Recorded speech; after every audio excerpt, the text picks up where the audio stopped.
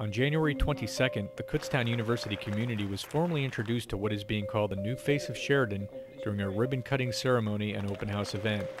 Its new facade might seem impressive, but the real beauty of this transformation goes well beyond mere aesthetics.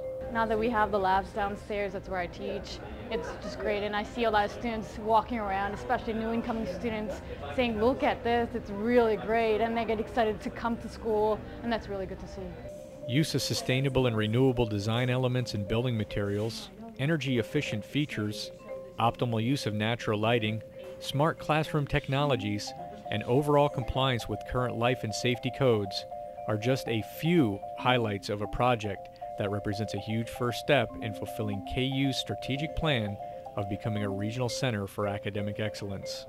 Phase one of this of a two-phase project that is the renovations of Schaeffer Auditorium as well that I will start in the next few months and that will help us really create a visual and performing arts center that would be this part of the campus that certainly reflects what Kutztown University has been all along. Expanding the total facility to more than 55,300 square feet accommodates all faculty and staff of the College of Visual and Performing Arts under one roof promoting greater interaction and collaboration. In the painting studio, there's a lot more storage space than we had previously.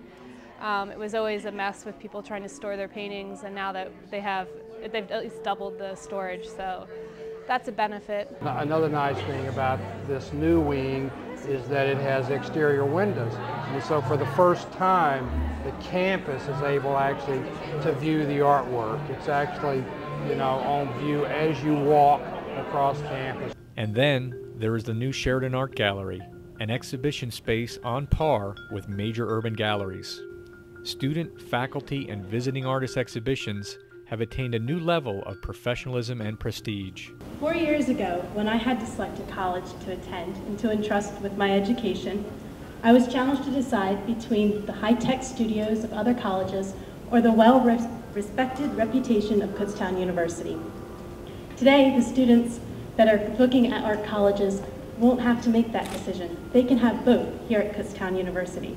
There's no reason for us not to have both. We have the quality, we have the great tradition in the faculty, in the arts. We needed to have the facilities to go with that quality. So now we have both, and certainly will help us with recruiting students, with recruiting faculty as well, because we also can attract faculty to places that have this kind of uh, environment for them to work and to develop and to teach.